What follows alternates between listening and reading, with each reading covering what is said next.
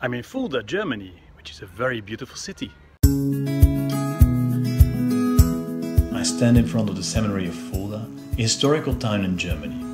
The entrance to the seminary is very colorful and depicts Saint Boniface, a great missionary to the northern Netherlands and Germany, whose tomb I will visit tomorrow.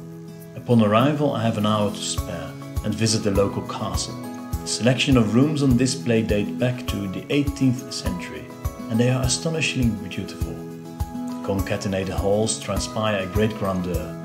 However, I'm a little shocked when I discover that these lavish rooms once were the home to churchmen, abbots and bishops ruling the region with their portraits proudly looking down on me. The symbols of their spiritual and earthly power, the mitre and crown, now sit peacefully side by side. The emperor's room, executed in white, opens towards a splendid castle garden. The season is right and the flowers are blossoming. As I follow the well-maintained path of the garden, I notice how lively it is being used by the locals, especially by young people gathering in the evening sun. A long train journey has made me hungry, and at a local bakery I get a suggestion to try these rather curious balls. After sampling, I can best describe them as oddly shaped donuts.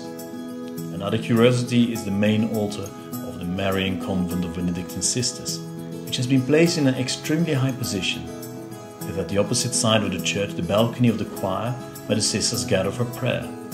This allows the nuns to keep their vows of a life in seclusion, whilst the faithful can follow Mass from below. Obviously, I just need to visit the church dedicated to my patron, St. Michael, and discover a very interesting construction, with a round presbytery and right above it an illuminated tower shaft prayer to St. Michael concludes my first day in Fulda.